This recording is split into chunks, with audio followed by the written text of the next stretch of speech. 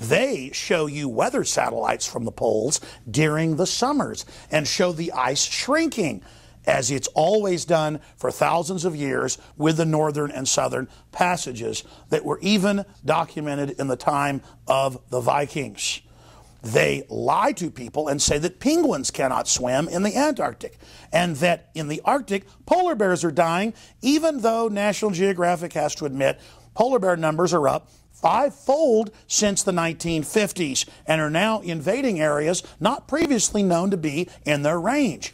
But that doesn't matter. Obama said you could keep your doctor. Then he said he never said you could keep your doctor. If you've got health care already, then you can keep your plan if you are satisfied with it. If you like the plan you have, you can keep it. I intend to keep this promise. If you like your health care plan, you'll be able to keep your health care plan. If you like your plan and your doctor, you can keep them. He said it wouldn't raise your premium, even though it did. So why not tell you that polar bears can't swim? Why not tell school kids they're all going to die if we don't pay Al Gore and the UN trillions of dollars in carbon taxes? Well, now because they're losing the debate, and it's been shown in the UN's own numbers that since the mid 90s, the Earth's temperature has actually dropped slightly, that there are natural cycles, they can't deal with those facts. So, all over British and European news, but also here in the U.S., we've seen professors and others come out and call for the arrest of people that question anthropogenic or man made global warming. And the latest is in the Times of London. With a straight face, one of the biggest papers in England talks about ministers and the committee in Parliament calling for people to not be allowed, including members of government, to question the quote consensus that man made global warming is not man made. Well, there is no consensus. In fact, the facade of the consensus is collapsing. The consensus is forming that the only thing that's steady is change itself. If you want to see the article, the headline is Crackdown Ordered on Climate Change Skeptics. That sounds like something out of the old Soviet Union. Then we segue into Al Gore and his new move to produce a Inconvenient Truth Part 2 with new lies for old. Bottom line, we have an authoritarian movement on the so-called left that is seeking to not just tax every form of human activity and track it, but to also silence anyone that would dare challenge it. These people are not liberals. They are out of control authoritarians. But I wanted to reach out to some of the mainline supporters of this who really mean well, and I want to discuss some of the real environmental threats to this planet. Open air genetic engineering of plants for pharmacological crops where viruses and bacteria are mixed into the genetic code of mainline staple food crops that then infect the entire family of, say, corn or canola has been proven in major studies to cross the genetic line into animals and humans that eat it, damaging our DNA. We know that toxic waste dumping is a serious problem. We know that overfishing in many areas is a serious issue. We know that the development of superbugs because of the overuse of antibiotics is threatening not just human life, but much of animal life on this planet.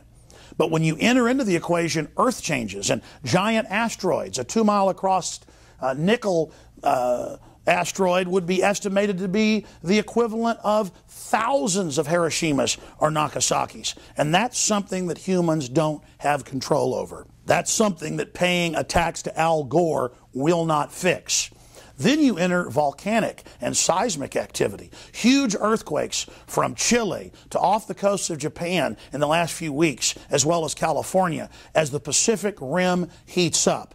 But government scientists tell us, don't worry, in the geological record, big events like this only happen every few hundred thousand years, and we don't think we're due. They have no idea on the real geological line how often these events really happen. But what we know is many civilizations have been destroyed or damaged by them. We know the world is hit by huge earthquakes and tsunamis on a routine basis, causing tens of thousands to die every single year. But because these are threats that the government can't even pretend to control, they tell us it's no big deal, it's not an issue. I go back to this all the time. Honeybees kill more than 200 people a year in the U.S. alone, more than international terrorism combined. but we're not seeing Homeland Security checkpoints out on the road to stop honeybees because it's something that we know is just a risk in the environment inherently, just like earthquakes, just like tsunamis. What do you do to mitigate against earthquakes and tsunamis? You don't live in those zones, or you live in a home that is designed to mitigate the danger from living in those zones. The truth is, the greatest danger historically is government. In the 20th century, according to the University of Hawaii, 262 million innocents, non military personnel, were killed by government, were executed, were murdered, in many cases raped and tortured before they were killed. Statistically, it's not earthquakes, it's not asteroids, it's not flesh eating bacteria, it's not cigarettes, it's not firearms, it's not honeybees, it's not great white sharks that are the danger that kill five people a year, but everybody's scared of them. No, ladies and gentlemen, it's government taken over by out of control criminal interest. And when governments start trying to say, we're not going to let you be pro Second Amendment, or we're not going to let you promote your views on climate and the fact that the earth is always going through changes, we're going to shut you up. We're not going to let television have you on as guests. That's what they're proposing. You know you're dealing with the real threat that has reared its head throughout history. It's called despotism, it's called oppression, it's called tyranny. And across the world, it's on the march. But for every action, there's an equal and opposite reaction, to quote Sir Isaac Newton. And there is a response, a sleeping giant of free humanity that is awakening and beginning to move against the tyranny. The future, the destiny of civilization and freedom is in your hands. Alex Jones signing off for Infowars.com. Now, back to David Knight and the worldwide radio transmission on this Friday edition. We'll be back this Sunday live as well with more live reports and special commentary.